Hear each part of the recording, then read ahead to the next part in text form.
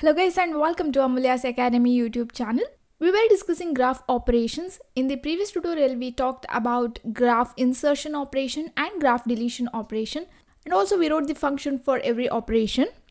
But in those previous tutorials whenever I used term graph I was referring to simple graph, graph with single edge. But graph can contain multiple edge between two vertices and our previous written functions may or may not work for multiple edge graph because multiple edge graphs are represented differently compared to single edge graphs.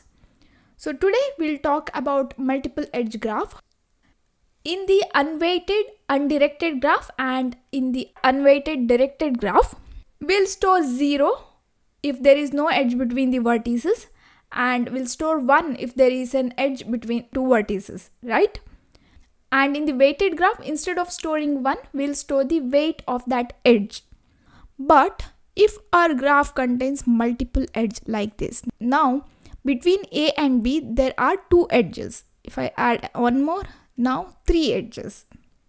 Now how to represent this? That is the graph with multiple edges using adjacency matrix representation so to store multiple edge graph in the adjacency matrix, what we can do is instead of storing one, we can store the number of edges between that two nodes. For example, here A to B, there are three edges. Instead of storing one, I can store three.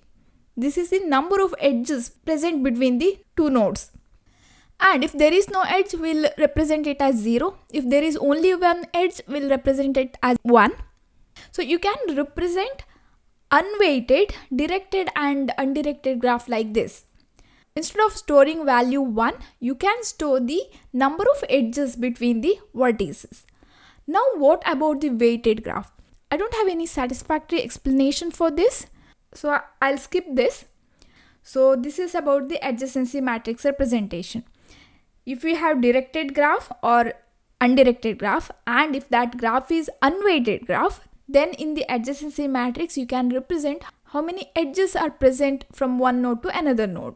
You can store the count of the edges in the adjacency matrix.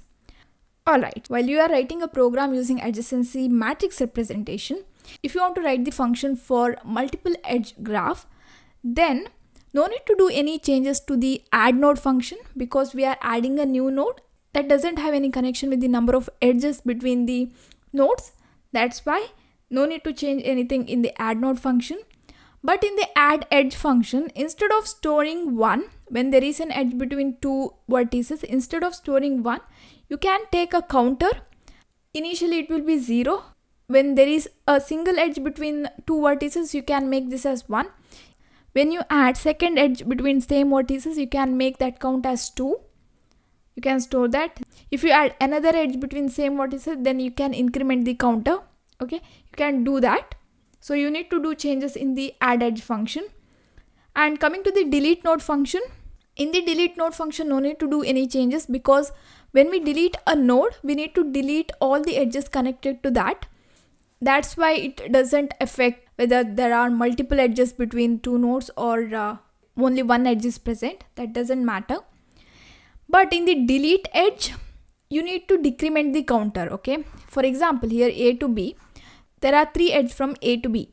Now if I delete this, okay, if it is for uh, unweighted graph, if I delete this, then I need to decrement this to 2, okay, like that. So this is about adjacency matrix representation. Next, let's talk about the adjacency list representation. If I add multiple edges between two vertices, our program will accept that our program which we wrote in the previous tutorial for uh, graph implementation using adjacency list representation. We used graph dictionary, right? That program work fine for the multiple edges. What it will do is if, if I add an edge between A to B, here it will again take B as its neighbor. That is there is an edge from A to B. It will mention that again. You can see multiple B's in the list if I have another edge then it will add another b here. So no need to do any changes in the add node function add edge function. But while performing the delete node function you need to be careful because in the delete node function what we are doing is if I delete A here we need to delete all the edges connected to this. But here you can see in this single list we have three B's. We need to delete all B's from this uh, list but our function which we wrote in the previous tutorial I guess previous to previous tutorial delete node function using adjacency list representation it is not working for this. You need to do a few changes in that function. And I think delete edge also works fine because um, if we delete one edge it will delete B from this and it will delete A from here.